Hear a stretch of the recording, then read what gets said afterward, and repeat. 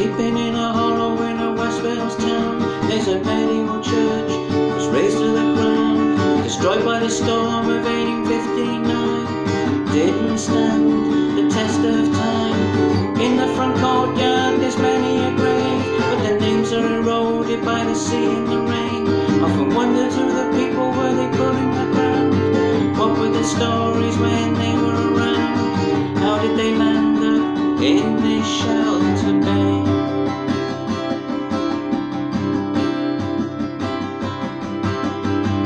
master mariners, children so young, lying unmarked in the Pembrokeshire sun, didn't see a single flower on the ground to show that their loved ones are leaving around.